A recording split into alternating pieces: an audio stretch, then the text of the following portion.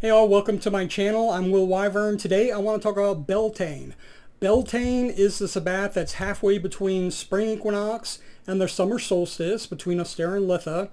And it's a time that our ancestors celebrated the coming of summer. For some it was called the first day of summer, for some it's called the coming of summer, however you want to word it. But it was a time our ancestors celebrated the end of winter the end of snow, the end of ice, the end of darkness, the end of the long nights, and they welcomed in the summer, the warmth, the long days, the shorter nights, the just the prosperity that warmth brings, you know, growing the crops, feeding your animals, tending the herds, just all the things you could do outside because it was warm and the long days, and they celebrated that. And one of the ways they celebrated that was they made bonfires.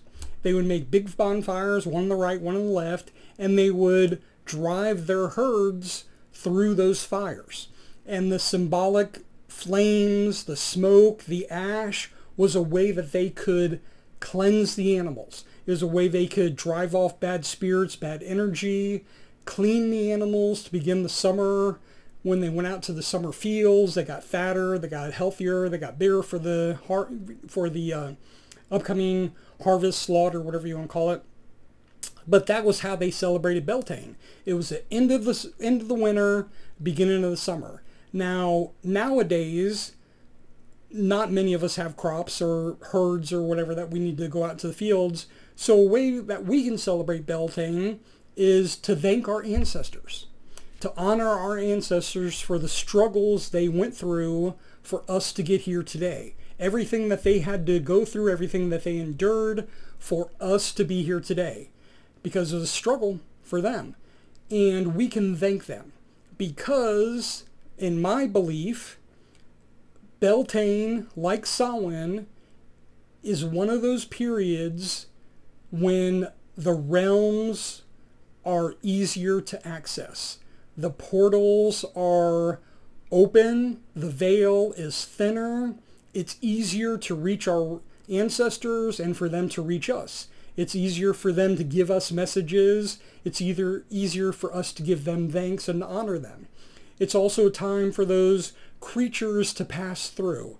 Those other dimensional creatures, fairies, goblins, spirits, whatever you want to call them, it's easier for them to come through. And our ancestors did things like leave out little treats for the fairy folk, or they would do things like leave iron outside to keep them away from their homes. It's just the veil is thinner. Our ancestors believe that, and I believe that. So that's something else you can do. Leave out little treats, you know, sugar treats or milk or honey or you can set out iron or whatever you believe is a protective element to keep away the bad, you know, the impish type creatures that like to play havoc and be just, you know, do things. So that's what I believe. Now, our friends who are below the equator, they're celebrating Samhain. That's the other holiday that I believe is when the veil is thinner. So that's something we can do on both the north and southern hemispheres. Honor your ancestors. You can set out two candles, one on the right, one on the left. Go ahead and dance through the candles. Walk through the candles. Get on your hands and knees and just kind of crawl lightly through the candles. Some way to symbolize that you're honoring what our ancestors did. Driving their herds through the flames, cleansing your body, cleansing your soul, protecting yourself, asking for your deity to watch over you as you transfer from winter to summer. So that's something else that you can do. And as always, these are my thoughts, my beliefs, my opinions. I just want to give you ideas on what you can do for Beltane. For me, celebrate our ancestors, honor the transition from uh, winter to summer, and do what you can. Just celebrate. That's all life is about. Celebrating life, being glad that we're alive, and celebrating that joy.